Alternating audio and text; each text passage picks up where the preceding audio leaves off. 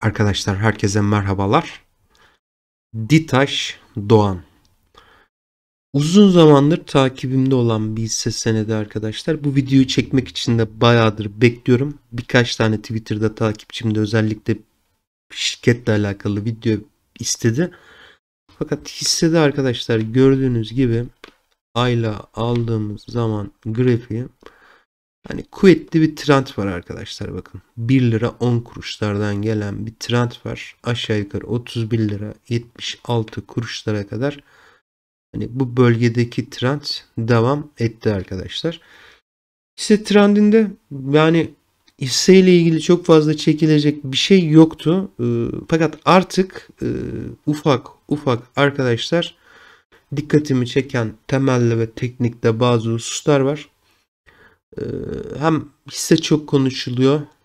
İşte yani yatırımcıyı uyarmak babında değil ama yani e, işte herkesin kendi aklı, kendi parası arkadaşlar. Yani bu hisse buradan beri trendinde yani trendinde herhangi bir bozulma da yok. Aylık aylıkta baktığınız zaman e, şu bölgede yani son 4-5 senedir elinde tutan arkadaşlar çok iyi para kazandı. Mesela şu şu dönem çok özür diliyorum, özür dilerim. Şu şu dönem evet şurası pandemi ya. Pandemide e, son 2-3 yıldır yani elinde tutan arkadaşlar iyi para kazandı. Şurada 1 lira 72 kuruştu bu hisse senedi. Dönem dönem alıp sattım arkadaşlar. Elimde kar için tuttuğum hisse senetleri vardı. Onları da ben yanılmıyorsam 1,5-2 hafta önce e, çok az bir miktar hisse senedi vardı verdim. Alan arkadaşlar hayrını görsün. Şimdi lafı fazla uzatmayalım arkadaşlar. Doğan Şirketler Grubu Holding Anonim Şirketi adına sermaye payı %71.57. Bu şirketin benim en çok beğendiğim yönü halka açıklık oranı arkadaşlar %20.29. Marmara Kapital Portföy hisse senedi TL fonu, hisse senedi yoğun fon. Yani bir fon girmiş buraya arkadaşlar. %8.14'te onların sermaye payı var. Şirkete ait 3 adet iştirak var. Üçünde de sermaye payı %70. Profil sanayi 35 kalıp ve profil GmbH diye bir firma arkadaşlar. Üçünde de sermaye payı %70. Şimdi satış ve karlılık kısmına geldiğimiz zaman 2018 başında 96 milyon lira olan net satışlar arkadaşlar son bilançoda 607 milyon liraya kadar yükseldi. Şirketin net esas faaliyet karı 2026'da eksi 770 bin lirayken arkadaşlar bakın burası benim için çok önemli. Şurada 42 milyon 300 bin lira son bilançoda 27 milyon 370 bin lira. Yani şurada 1 milyon liradan özür dilerim eksi 770 bin liradan 2022 altıda 42 milyon 300 bin liraya kadar yükseldi. Son bilançoda da 27 milyon 370 bin liraya kadar burada bir azalma var. İşin ilginç yanı arkadaşlar ana ortaklık net dönem karı düşüyor. Bakın ana ortaklık net dönem karı düşüyor. 2029'da 4 milyon 870 bin liraya kadar düşmüş. 32 milyon 250 bin liradan beri burada bir düşüş var arkadaşlar. Burası önemli takip edilmeli. 2018 Mart'ta hisseye 1 lira, endekse 1 lira yatırsaydık eğer hisseye yatırdığımız 1 lira 20 lira 11 kuruş, endekse yatırdığımız 1 lira 3 lira 98 kuruş olarak bize geri dönüş sağlayacaktı. Hisse başına kar arkadaşlar sadece bakın hisse başına kar 11 kuruş. Net esas faaliyet karı arkadaşlara bakın net esas faaliyet karı burada artık ufak ufak arkadaşlar bir azalma periyoduna girmiş. Umuyorum şuradaki gibi olur. Fakat e, burada artık yani esas faaliyet karında bir zorlanma var gibi geliyor bana arkadaşlar. Burada biraz temkinli olmak lazım. Burası olumlu esas faaliyet giderleri düşüyor. Net finansman giderlerinde arkadaşlar 6-7 bilançodur bir artış var. Burası olumsuz. Ve benim arkadaşlar bakın en çok sevmediğim bölgem. Yani bu videoyu çekmemdeki esas nedenlerden bir tanesi de burası. 100 liralık satışta 2021 9'da 69 lira 60 kuruş net satış maliyeti yazan şirket. Arkadaşlar bakın son bilançoda bunu 100 liralık satışta 82 lira 43 kuruşa kadar yükseltti. Yani şirketin net satış maliyetlerinde arkadaşlar ciddi bir artış var. Burası gerçekten olumsuz. Burası da olumsuz arkadaşlar. Şirketin yabancı para varlıklarının yaklaşık 2 katı kadar yabancı para yükümlülüğü var. Şirketin yabancı para riski bulunuyor. Otomotiv yan sanayide DuPont analizi kısmına geldiğimiz zaman öz sermaye karlılığı sektör ortalaması arkadaşlar %52.39. Ditaş'ta arkadaşlar %6.37. Sektör ortalamasının neredeyse 9'da 1'i kadar.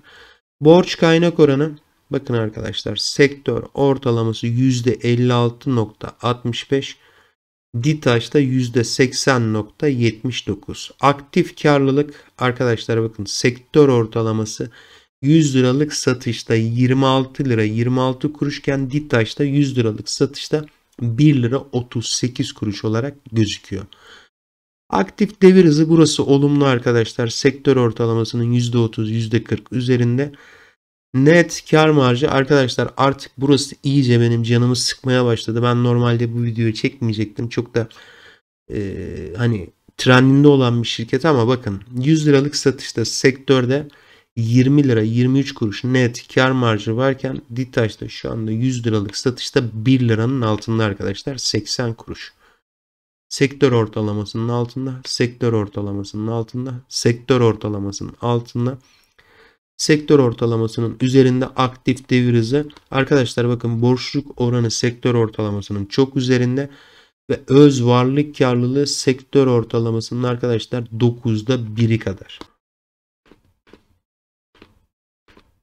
Piyasa çarpanları kısmına geldiğimiz zaman 2021 6'dan beri arkadaşlar şirketin öz sermaye karlılığı 65-67'den 6.37'ye kadar düşmüş. Öz sermaye karlılığında şirketin inanılmaz olumsuz. Brüt esas faaliyet kar marjı düşüyor. Net kar marjı düşüyor. Hatta yıkılmış arkadaşlar. Esas faaliyet kar marjında bozulma var. Fabrik bölü satış gelirleri arkadaşlar şu anda hızlı bir şekilde aşağıya doğru geliyor. Fakat şirketin hisse fiyatı arkadaşlar bakın yukarıya doğru gidiyor. Ee, burada artık yani ufak ufak yani teknik temeli desteklemiyor. Yani burada artık bazı olumsuzluklar var arkadaşlar. Özellikle bilanço kalemlerinde fakat hisse fiyatı sürekli artıyor. Burada karar takdir tabii ki sizin. Piyasa değeri defter değeri 2029'da 11.88'e kadar çıkan şirketin piyasa burada demiş ki sen pahalısın kardeşim. Bunu yaklaşık 5-60'lara kadar düşürmüş. Burada %20 %21 gibi bir halka açıklık oranı var. Tekrar bir piyasadan alış gelmiş. Şu an piyasa değeri defter değeri arkadaşlar 15.88 fakat öz sermaye karlılığı şirketin %6. Yani bu arkadaşlar çok e, sıkıntılı bir görüntü var burada. Bu hoş değil yani bilginiz olsun. Elinde tutan arkadaşların faaliyet raporlarına özellikle bakmasını e, temenni ederim. Çünkü bu döndüğü zaman can yakar arkadaşlar. Ben şimdi bu videoyu çekiyorum. 3-5 tane e, şey e, ya bunun altına yorum olarak yazacak ya gelecek Twitter'dan yine bana küfür edecek ama e, ya arkadaşım o kadar biliyorsan aç YouTube'dan bana bir tane video çek. De ki yani bak kardeş sen böyle böyle bir analiz yapmışsın ama bak burası yanlış, burası yanlış, burası yanlış, burası yanlış. Burayı kıçından uydurmuşsun. Özür dileyerek söylüyorum. Ee, senin yanıldığın noktalar buralar diye çeksin. Ee, koysun ama burada hani şeye gerek yok arkadaşlar. Böyle işte küfre şeye gerek yok. Şimdi fiyat kazanç oranında arkadaşlar şirketin 31.80, 139 ve 262.89. Yani bir adet hisse senedi şu anda 262 yıllık karına işlem görüyor. Karar takdiri burada tabii ki sizin. E, piyasa değeri defter değeri ortalaması bakın arkadaşlar. Piyasa değeri defter değeri otomotiv yan sanayinde 8.50 Ditaş'ta şu anda 15.88. Öz varlık karlılığı sektör ortalamasının işte ne kadar altında olduğunu biliyorsunuz. Fakat piyasa değeri, defter değeri neredeyse sektör ortalamasının iki katı kadar. Fiyat kazanç oranında arkadaşlar sektör ortalamasının yaklaşık 10 katı üzerinde. Yani biraz artık arkadaşlar temkinli olmakta fayda var. Neyse arkadaşlar temelde elimizden geldiğince dilimizin döndüğünce anlattık. Hızlı bir şekilde teknik analiz kısmına da geçelim. Şimdi arkadaşlar teknik olarak baktığımız zaman şimdi bakın şurada şurası özür dilerim pandemiden başlayan bir süreç arkadaşlar. Pandemiden başlayan bir süreç 1 lira 46 kuruştan başlamış. Şu an 30 lira 10 kuruş hisse yaklaşık 1'e 20 kadar e, burada şey getirmiş. Bir prim getirmiş. Günlüklere indiğimiz zaman günlüklere indiğimiz zaman arkadaşlar bakın hisse genel olarak söylüyorum. Şöyle e, geniş çanaklarla yukarıya doğru gidiyor. Bakın geniş çanaklarla yukarıya doğru gidiyor.